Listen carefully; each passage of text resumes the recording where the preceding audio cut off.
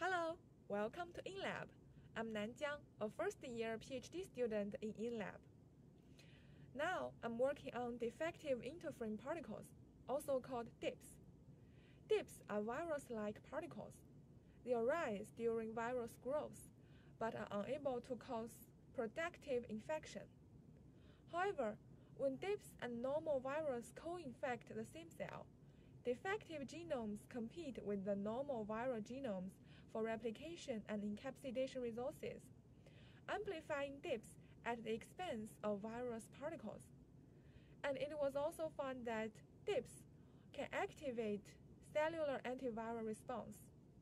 Now, we are interested in if DIPs of human coronavirus exist and have such effect. Feel free to contact us if you are interested in our lab or my project. I'm Hui Chen, a senior graduate in chemical and biological engineering at the InLab.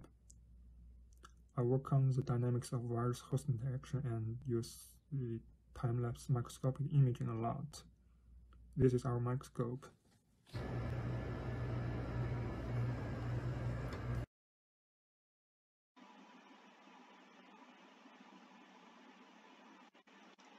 Images taken by that microscope can be converted to movies like this. This one shows an infection by an engineered vasculostomated virus that expresses red fluorescent protein. Each red dot was an infected cell. We can watch cells turn fluorescent positive over time. We also co-infected cells with an artificial defect interfering particles, or DIP, that expresses green fluorescent protein and by changing the ratio of DIP versus concomitant virus, we saw different spreading patterns. The cells with signals from both virus and DIP appeared yellow. We can quantify the viral protein expression in individual cells over multiple rounds of infection from those movies, and build mathematical models to describe the competing dynamics between virus and DIP based on that. The part of my project is about Zika virus infection and vaccine production. Zika virus caused the pandemic in 2015, resulting in pregnancy losses and baby birth defects, and it may break out again elsewhere.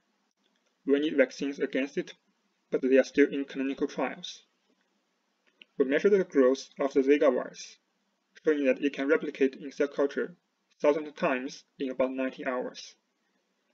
And we are also building mathematical models to maximize virus growth for vaccine production.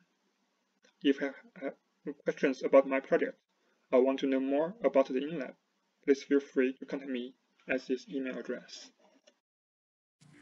The InLab also studies the chemical origins of life, which is my primary project. I'm Haley, a third year in the chemical engineering department, and I'm recording this from home right now because I've already shut the lab down for the holidays, but normally I work at the Wisconsin Institute of Discovery, which is a fairly new building that has a lot of useful resources. In my experiments, I react amino acids together to study the origin of short protein-like molecules on the early Earth. These experiments don't take a lot of specialized equipment to perform, they just use lab chemicals and heating blocks. To analyze the molecules made in these samples, I use high-performance liquid chromatography. Our HPLC machine and some of our lab space is pictured here.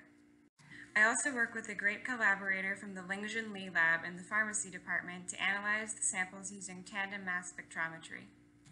If you have questions about my project, the Yin Lab in general, or would just like to see more of the lab, feel free to contact me or John over email.